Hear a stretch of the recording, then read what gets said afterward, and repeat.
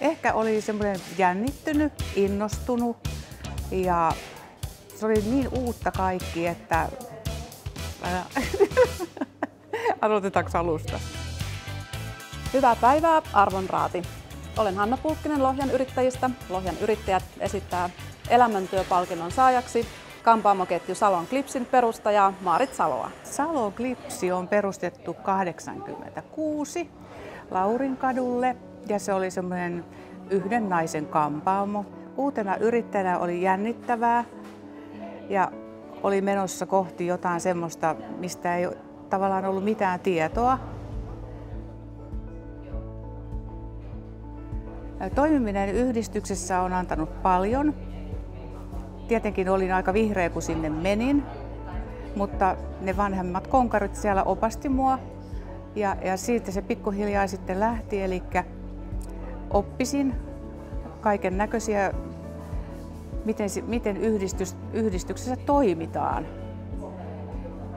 Ja siellä tuli, pystyt vaikuttamaan sun kotikaupungin asioihin, voit verkostoitua, saat siellä vertaistukea.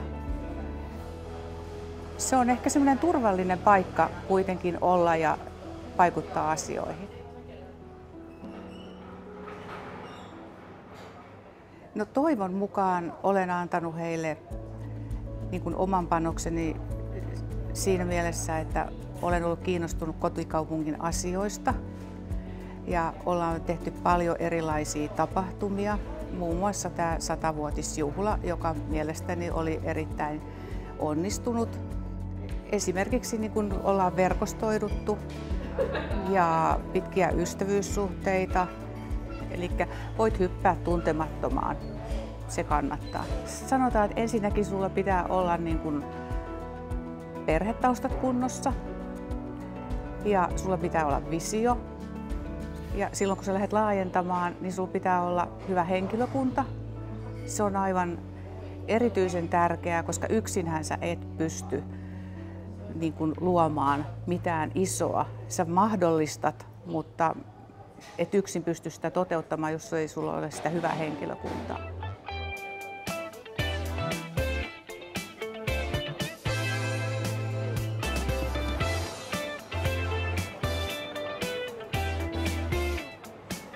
Jaa, no mä voisin tästä vaikka näyttää sulle, eli syksyä ja värikkyyttä kohti mennään naisten hiuksissa ja miehillä otsakiharat.